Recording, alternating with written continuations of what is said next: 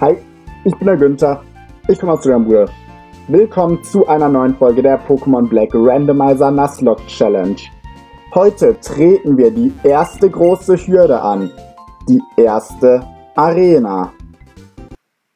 Ich musste noch kurz ein paar Programme schließen. Ich habe noch bisschen, aber ich will auch Geld aufheben, weil nach der Arena werden Super-Items verfügbar sein.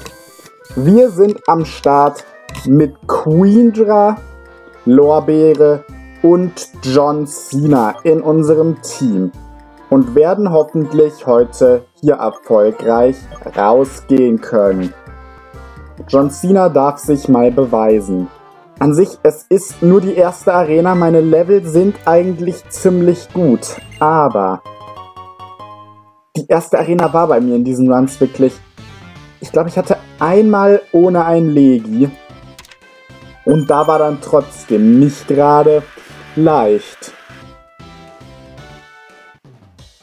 So. Hier das Rätsel einfach, was ist sehr effektiv. Komplett Standard, schafft eigentlich jeder, der sich irgendwie auskennt. Easy. Okay, und der erste Gegner ist zwar vielleicht nicht gerade vom Matchup her perfekt, aber das Level auch. Hier ist das Level auf einmal schon ziemlich hoch. Und John Cena verfehlt die erste Attacke hier im Team. Das macht keinen guten Eindruck, Junge. Und dann trifft er zweimal. Ich merke schon, ich und dieses Rasach werden keine Freunde.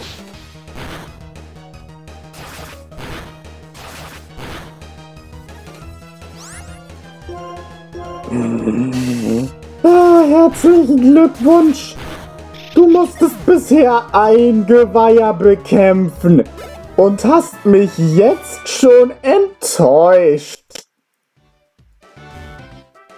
Aber es war nur ein Geweiher, von daher hat's letztendlich ganz stabil hingehauen. So, das ist noch nicht der letzte Trainer, normale vor der Leitung. Das Ziel ist auch auf jeden Fall heute wieder ein neues Team-Pokémon auf der nächsten Route zu bekommen. Eher gesagt im Dream Yard. Ach, komm doch mal! Das Ding ist ein Geist-Typ! Das kann John Cena nicht angreifen! Also, ich sehe hier sofort dieses Rasa wird nicht gerade mein Lieblingsteammitglied. Hier, nimm dir daran Beispiel. Lorbeere ganz, ganz simpel. Es, komm, also komm. Das Ding dürfte sogar ziemlich heavy sein. Normaltyp dürfte relativ heavy sein. Das ist ja wohl was für dich. Ja! Crit! Sehr schön. John Cena, so geht das. Kriegst auch gleich zwei Level. Ich bin aber der Meinung, dass die Attacke Low Kick allgemein ziemlich gut ist, weil Kampf ist ja ähm, vor allem gegen Stein eine sehr gute Sache eigentlich. Gegen Stein und Stahl. Oh, wir sind doch schon beim Arenaleiter. Ich dachte, es gibt noch einen Trainer hinter der Tür. Dann gehe ich einfach auf Feige mich jetzt nochmal heilen. Weil Stahl und Gestein haben beide eine Kampfschwäche. Und dann gibt es eben Low Kick, was je nach Gewicht, je mehr der Gegner wiegt, desto mehr Schaden macht's. Und so ähm, für Eis eigentlich dasselbe. Pokémon, die diese Typen haben, wiegen eigentlich immer ziemlich viel. Einfach weil es sind Felsen oder Eisklumpen oder sie sind aus Metall. Ne? Ergibt Sinn.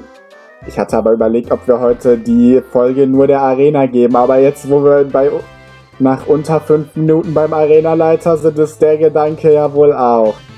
So, wer es nicht weiß, das sind eigentlich drei Typen und man kämpft hier je nachdem, äh, welchen Starter man gewählt hat, gegen den, der den starken Starter der, der den starken Typ gegen einen hat.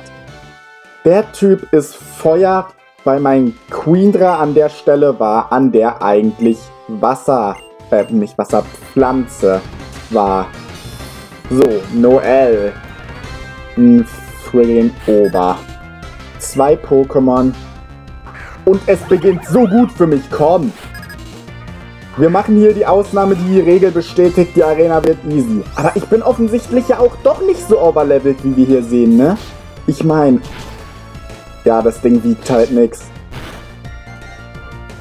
Ich meine, der hier ist auch nicht niedriger als ich. Was mich vor allem aufregt, ist, wie macht das so viel Damage? Nein, Alter. Und es geht daneben!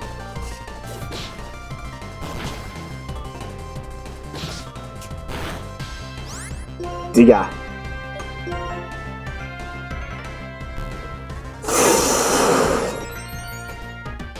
John Cena.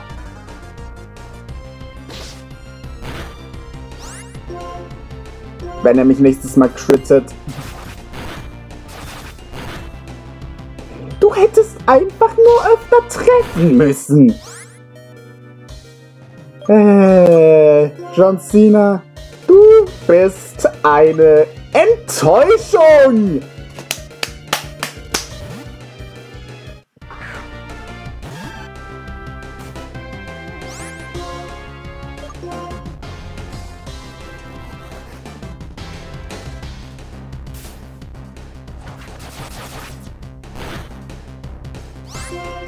Ja, wegen dem Bullshit, den... Das bringt dir auch nichts. So, erstes Pokémon down. John Cena hat enttäuscht. Du verdienst dir diese Erfahrung nicht. Okay, das ist an sich kein so schwaches Pokémon, aber schwächer als das, was ich von dieser Arena in meinen Randomizer Runs gewohnt bin. Und es hat ein Problem gegen Queendra. 14. Ihr seht es mit den Leveln. Sag mal, warum benutzt der Typ mit allen Pokémon die ganze Zeit die Attacke? Das kann auch nicht seine normale Taktik sein. Normalerweise haben seine Pokémon das nicht. Ja, und das war jetzt das Verkokel. Kein so krasser Auftritt. Es kommt nun mal von der Krassheit nicht an seine Vorentwicklung ran, nicht im Ansatz. Und damit der Crit, Alter. Damit ist der Kampf zu Ende. Die Arena ist geschafft. Und Queendra kriegt Fettlevel. Und was haben wir... Nein. Was haben wir aus dieser Arena nun gelernt? John Cena kann nichts. Ja, aber ich, ich glaube, ihr denkt echt, ich laber hier, aber normalerweise die Arena. Letztes Mal zum Beispiel war der Kampf unfassbar knapp. Ich habe irgendwie sieben Minuten im Arenaleiter-Battle gesessen. Hätte irgendwie dreimal fast ein Pokémon verloren. Mit einem KP auch einmal überlebt. Stockpile.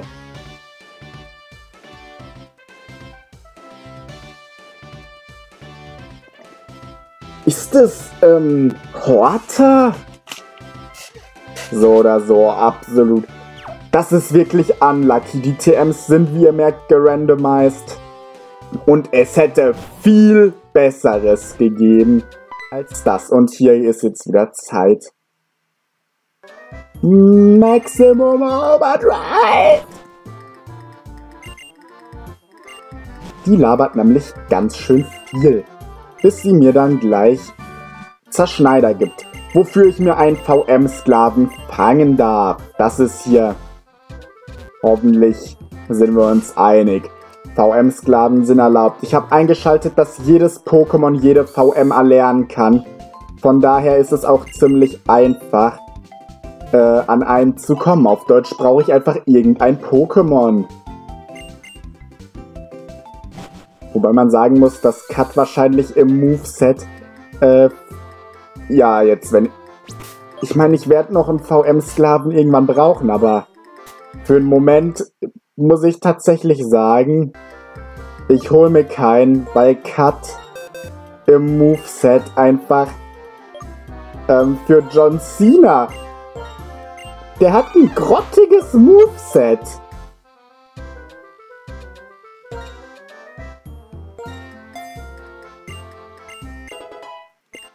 Der braucht gefühlt jetzt Zerschneider, weil das einfach für ihn jetzt gerade ein sinnvoller Move ist. Aber trotzdem kehren wir auf die vorige Route zurück. Außerdem gab es da auch nicht so Pokémon, die so passend wären als VM-Sklave. Okay, in meinem letzten Run äh, habe ich, als ich VM-Sklaven gejagt habe, irgendwie äh, erstmal vier Giratina encountert. Aber so, Random Item Nummer 1. Nicht unbedingt das, was man sich erwünscht. Zwei Beeren sind es. Es könnte jedes Item sein. Die ist zum Verkaufen.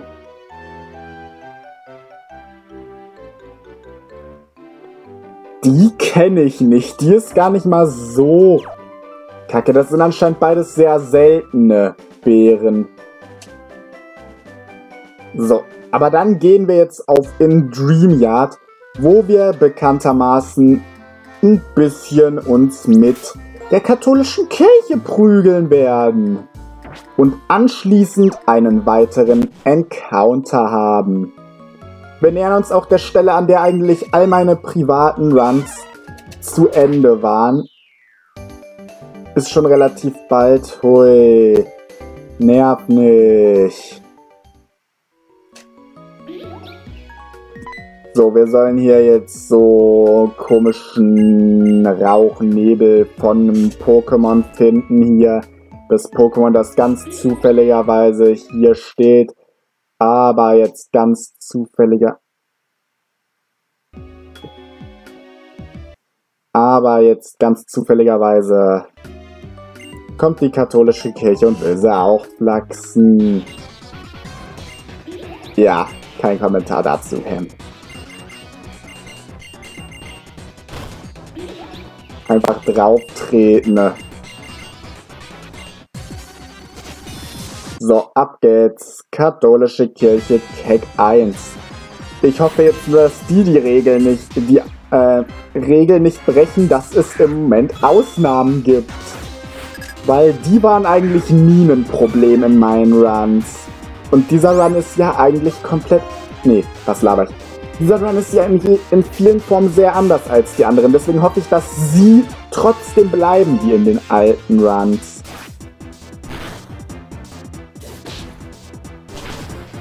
Und schön One-Shot. Ich habe das Gefühl, John Cena ist hier wirklich so drauf. Entweder der kriegt nichts geschissen. Oh. Oder er geht ab. Easy Crits und hat halt stabile Stärke. Das war Mann Max. Oh mein Gott. Ich kenne auch einen Max, bei dem bin ich mir aber manchmal nicht so sicher, wer Mann ist. Äh. Oh mein Gott. John Cena. Ich habe euch ja schon erklärt. Low Kick wegen Stahl und Gestein, was häufig sehr schwer ist hat beides eine Schwäche. Jetzt haben wir hier ein unfassbar schweres Stahlgleim-Pokémon vor uns. Keine Chance. John Cena zerstört entweder völlig oder versagt völlig. Und hier gegen die katholische Kirche war es die erste Option. Beide Gegner gewone-shottet. Ja, die ähm, machen trotzdem weiter, aber dann kommt Jesus Christ und sagt ihnen, Alter, Alter, ich finde das, nee. Und dann ist Jesus Christ weg. Dann kommt äh, Embryo seine Oma. Da ist die Forscherin. Und die beiden lassen zufälligerweise ein Item zurück. Wir müssen leider gleich auch nochmal zu der, damit die uns die Online-Funktion geben kann. Sicher in der Randomizer. Aber jetzt zum wichtigen Abschnitt. Zu dem Punkt, warum ich am ehesten hier bin. Erstens gibt es hier ein paar Items, die alle gut sein könnten. Um die ich mich auch gerne zuerst kümmern würde, um die Spannung aufrechtzuerhalten. Und einen Encounter. X Genauigkeit, dann ist eine Treppe. Ich weiß ehrlich gesagt, irgendwann später im Spiel wird die wichtig, aber ich habe keine Ahnung, wann genau. Da unten ist noch ein Item und hier ist ein Item. Drachenzahn, verstärkt Drachenattacken. Wenn Queendra mal welche lernt, ist das definitiv eine Option.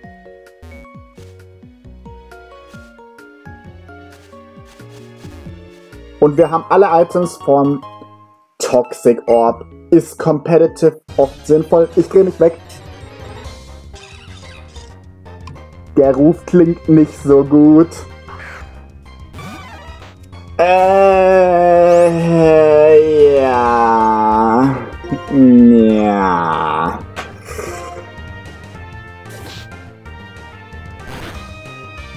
Ist er auch nicht. Das sieht aus, als wäre, wären die Leben eindeutig unter der Hälfte, aber der Balken wäre trotzdem grün. Ich sag so, ich würde es mitnehmen, aber... Da macht auch keine Probleme. Bloß kann ich mir jetzt schon gut vorstellen, dass es in diesem Team wirklich nur so ein bisschen billiger Ersatz wird. Oder in riskanten Situationen, wenn ich Pflanze brauche, einfach sozusagen Stunt-Double für Lorbeere. So, aber ähm, wir hatten ja schon häufiger bestimmte Pflanzen-Pokémon in Randomizers. Die hießen immer Weed. Das ist Weedy. So, Rahmen überarbeitet. Maske sitzt wieder.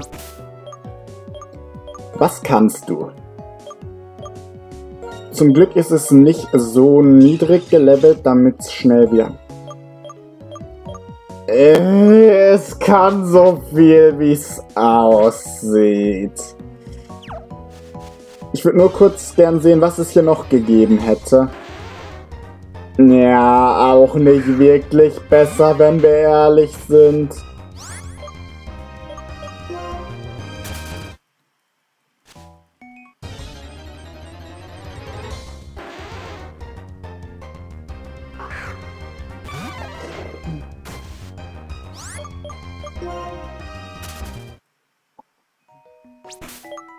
Stell mal Weedy nach vorne, das nächste Muschas besiegen wir.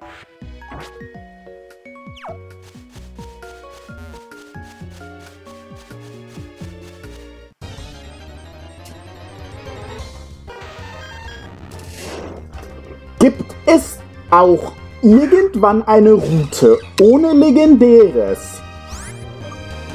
Aber ich muss sagen,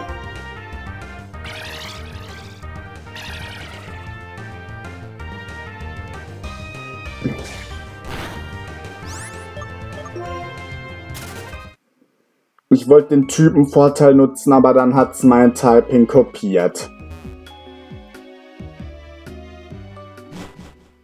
Aber... Wieso gibt's auf jeder Route... Ich kann mir eigentlich immer denken... Ich meine, auf der... Wir hatten bisher drei äh, Orte, an denen wir Pokémon fangen konnten. Route 1 hätten wir Lavados bekommen können. Route 2 hätten wir Latias bekommen können. Dreamyard hätten wir Mew bekommen können. Was ist denn das? So, wir holen uns kurz das komplett Unnötige da ab, was wir nicht brauchen. Ich bin lost.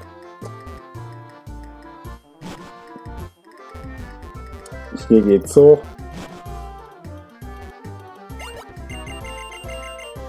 Oh, es ist so toll. Wir haben jetzt Internet.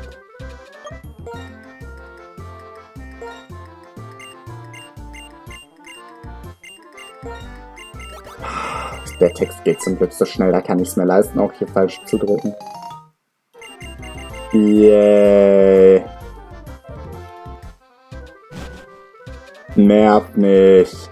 So, das musste ich machen. Ich gehe kurz zurück, um... Äh, ganz schlaue Frage. Ja, ich war im Pokémon Center. Ich meine, hier rennt Latias rum. Ähm, das hier will ich. Hier rennt Latias rum. Ein Psychotyp. Legendär, bringt viel Erfahrung. Du bist kein Latias. Das wäre halt äh, nicht gerade schlecht als ähm, für ein, zwei Trainingsrunden hier für Weedy mit seinem Biss. Genau du, von dir rede ich.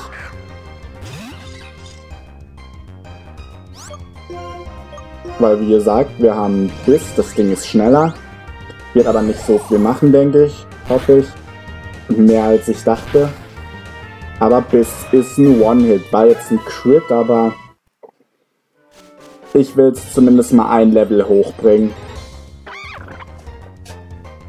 Aber ah, das Ding...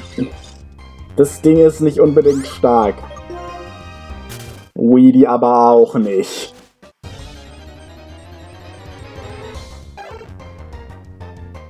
Das gibt's ja auch noch. Also gut, wie viel Damage machst du? Oh! War wirklich unerwartet. Übrigens, was wir auch machen könnten. Andererseits, man kann VMs nicht einfach verlernen. Ich wollte gerade sagen, dass wir ja zumindest fürs erste ähm, Zerschneider ins Moveset nehmen können.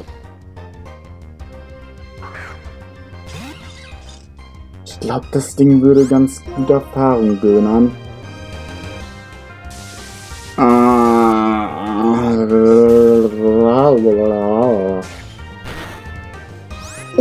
Alter, Wii macht mehr Damage, als ich eingeschätzt habe, habe ich das Gefühl. Ja, die Erfahrung ist aber nicht so toll. Ich hoffe jetzt einfach, dass ich hier auch so noch was besiegt kriege. Ah, Kingler an sich kann das vermutlich auch nicht so viel machen. Digga, Weedy! Weedy ist anscheinend offensiv krasser, als ich dachte. Das hätte ich auch nicht gedacht, dass ich innerhalb von zwei Folgen mal äh, von einem Rasaf in meiner Randomizer völlig enttäuscht werde. Oh, Wine Whip, jawoll! Aber von einem Wenn du fliebest positiv überrascht werde. Ja. So, wir können auf die nächste Route. Die Sache ist die, wir müssen auf jeden Fall einen Doppelkampf und einen Rivalenkampf bestreiten, bevor wir ähm, das nächste Pokémon fangen können. Aber trotzdem würde ich das gerne heute noch versuchen. Noch einen Encounter heute zu bekommen. Die letzte Folge war ja auch ein bisschen kürzer. Wir haben hier, wie ihr seht, jetzt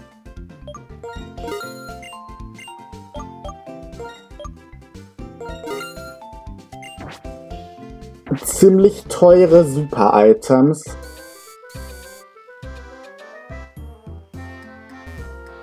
So, hier das alles lasse ich sein, wie es ist. Vielleicht gäbe es irgendwo ein Item, aber hier auch aufpassen. Bei denen habe ich schon mehrfach ein Pokémon verloren. Ja, Lorbeere ist, denke ich, da. Andererseits, ich will jetzt nicht irgendwie reinrennen ins, in zwei Feuer-Pokémon oder so und hab dann nur Pflanze vorne. Mit Doppelpflanze ist mir das...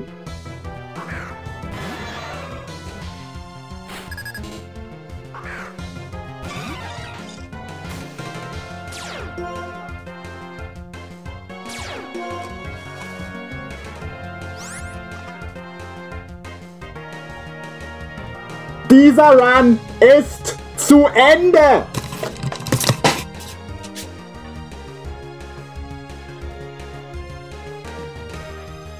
Was?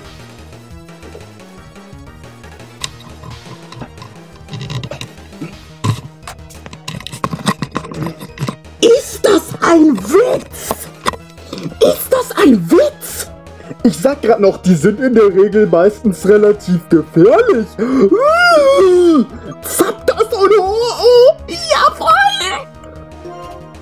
Ich kann eigentlich nicht auswechseln. Dieses Duo kann jedes Pokémon in meinem Team sehr effektiv treffen.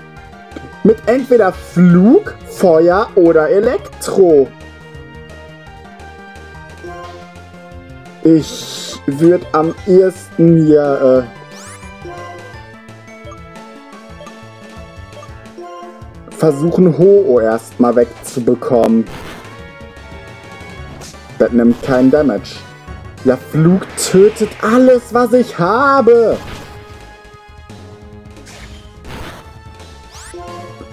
Wir können in dieser Runde Ho-Oh besiegen, wenn wir Glück haben.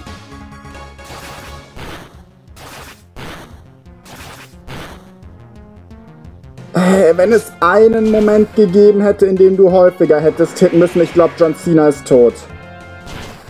John Cena!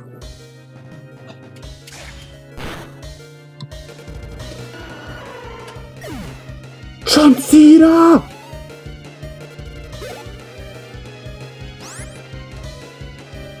Du bleibst, greifst an. Die Sache ist, ich weiß nicht, ob es überhaupt Elektroattacken beherrscht.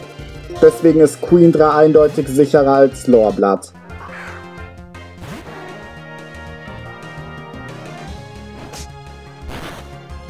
Und das macht nicht viel, wie man sieht.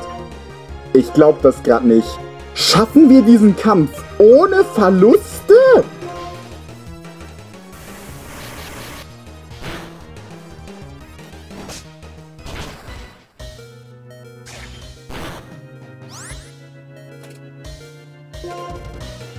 Ganz entspannt. Ich meine, ich werde zur Sicherheit switchen auf Lorbeere, aber hier, Queendra ist am schnellsten. Queendra ist am schnellsten, oder? Nee, nee, ist es nicht. Oder doch? Doch, ist es ja! Ich schwöre euch, ich hätte wirklich nicht gedacht, dass wir aus diesem Kampf ohne Verluste rausgehen. Digga, es war jetzt... Oh mein Gott. Und ich will nicht wissen, was hier genau falsch gelaufen ist, wenn die die Trainerklasse Vater und Mutter haben.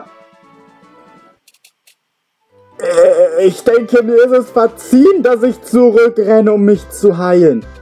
Wirklich, ich hätte nie im Leben erwartet, dass wir diesen Kampf ohne Tote überstehen. Weedy und John Cena. Oh mein Gott. Bloß wäre es letztendlich vermutlich schlauer gewesen, früh auf King äh, Queendra zu wechseln. Andererseits hätten sie ihre Ta Attacken dann nicht aufgeteilt und es wäre vermutlich Weedy gestorben. Wer weiß, vielleicht war es letztendlich tatsächlich so klüger. Ich gehe jetzt doch mal hierhin für Items. Dankeschön!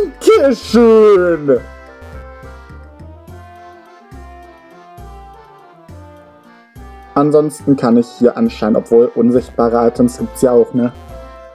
Aber nicht hier.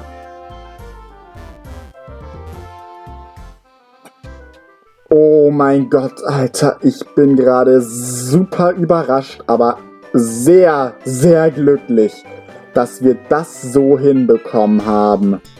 So, wie bereits angekündigt, gibt es hier noch einen Rivalenkampf. Nachdem ich die zwei Kleinkinder besiegt habe, habe ich vor dir keine Angst mehr.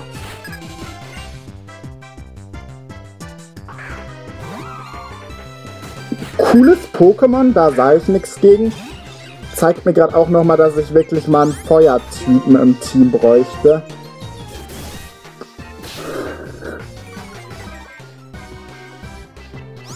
Ja, jetzt werde ich hier mit dem Treffen ganz große Probleme bekommen, weil das Ding Sand Attack spammt. Was ist mit dir los? Bruder!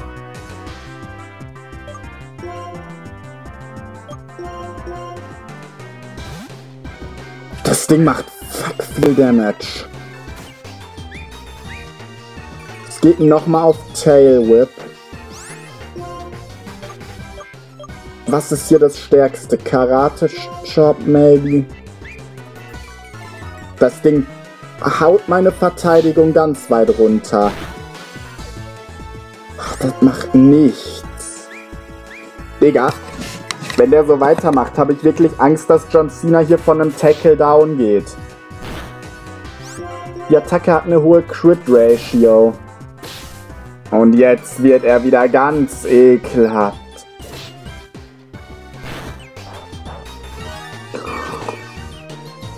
Oh mein Gott! Man muss ehrlich sagen, der Typ... Äh, die zwei Kinder gerade hatten unfassbar kranke Pokémon. Aber dieser Typ spielt es einfach ekelhaft. Okay, der Crit war wichtig. Wie viel Damage? Digga, gebt euch das!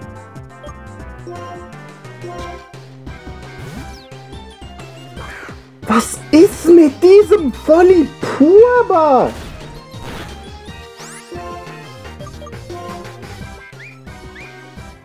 Das war's aber. Boah, also hier geht's jetzt am Ende der Folge schon noch ab. John Cena kriegt ein Level. Viel! Demob! Es kann theoretisch vermutlich schon eine Eisattacke, aber ich denke, das schafft Lorbeere. Seemops war mal mein Starter in einem Run. Ich hätte auch gern wieder eins. Wobei es halt mit dem Wassertypen nicht so gut äh, reinpassen würde im Moment. Ach, es lebt. also wenn du willst, dann mache ich's nochmal. Dieses Polypurba ist aber abgegangen. Boah, hier ist im Moment echt nicht gerade wenig los. So, jetzt kommt hier eine Story-Szene. Oh nein, dem Kind wird sein Pokémon von den Typen, die wir gerade durchlaufen lassen haben, geklaut. Und ich bin so pussyhaft und renn schon wieder zurück. Die Kämpfe gerade sind unfassbar krank. Und dann holen wir uns zum Abschluss der heutigen Folge noch einen Encounter.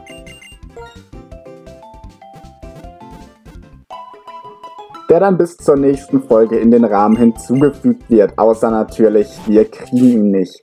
Aber da hoffe ich nicht drauf. Und vor allem, äh, wenn ich zurückdenke, soweit ich weiß, war doch der einzige Encounter, den wir in diesem Let's Play noch nicht bekommen haben, derjenige, der meinen ersten Run beendet hat. Damp Rock. Gib bringt Macht.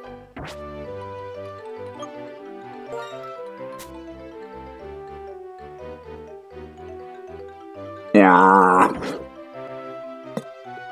Wirkt nicht so sinnvoll für mein Team. Der Ruf wirkt schon wieder nicht unbedingt gut. Obwohl, es ist halt mit dem Typen, ne? Es ist halt mit den Typen.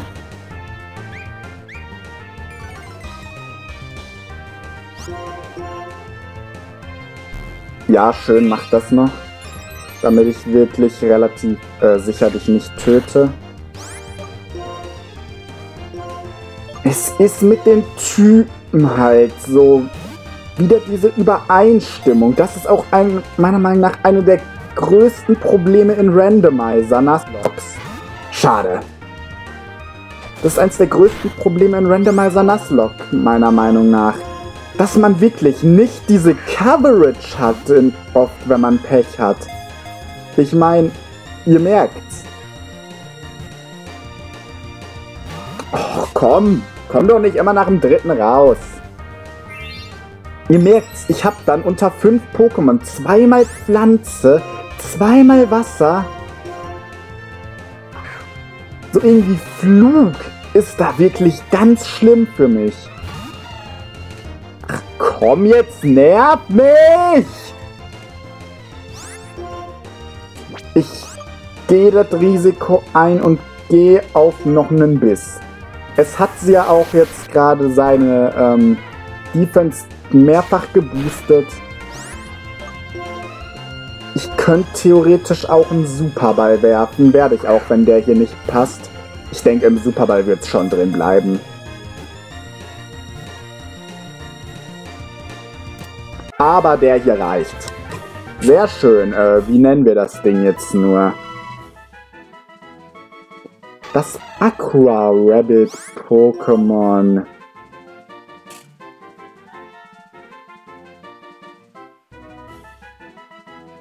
Okay, wenn wir kein Leerzeichen machen...